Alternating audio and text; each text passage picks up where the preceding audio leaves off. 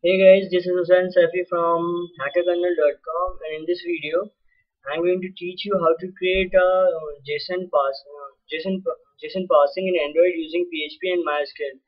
So I, in this video I'm going to show you the demo and the codes will be available on my blog hacker blog.hackerkernel.com links in the description down below. So I'm going to sh show you the demo.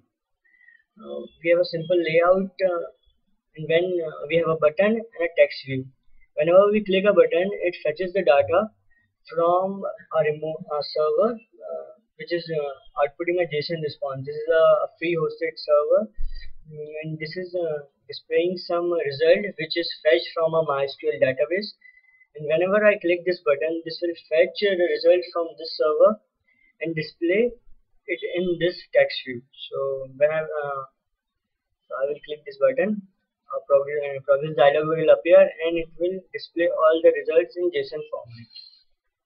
So thank you guys and